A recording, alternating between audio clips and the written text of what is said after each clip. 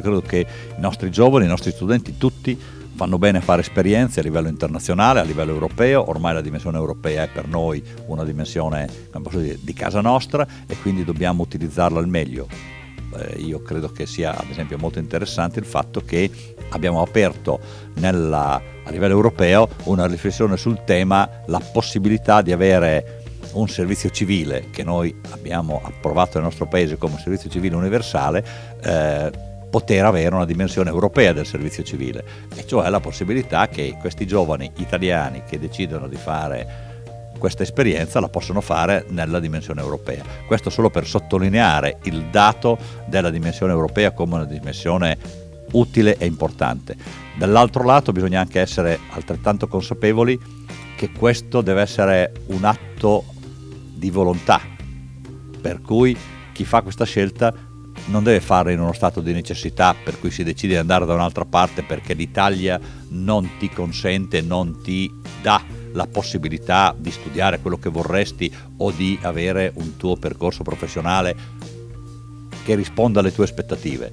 Deve essere considerata esattamente un'opportunità. Poi a quel punto liberamente un giovane che ha fatto questa esperienza decide di rimanere, di spostarsi, di tornare in Italia, di reinvestire le sue competenze. Io credo che questo sia il tema. Non preoccuparci troppo se qualcuno si sposta o non si sposta, il problema vero è la ragione di questo spostamento e io credo che fare esperienza sia comunque un dato positivo, però in questa logica, nella logica delle opportunità.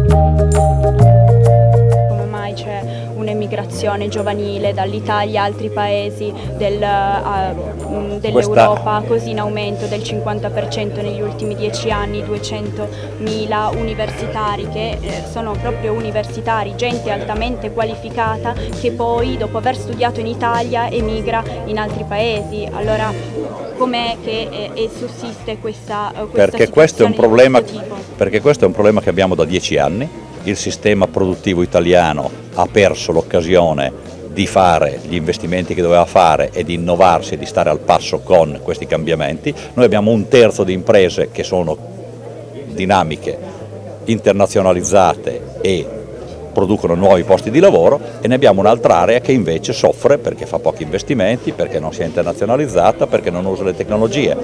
Quindi abbiamo bisogno di far ripartire l'economia. Se non riparte l'economia non ci sarà nessun Jobs Act non ci sarà nessun altro tipo di intervento in grado di, virgolette, creare i posti di lavoro.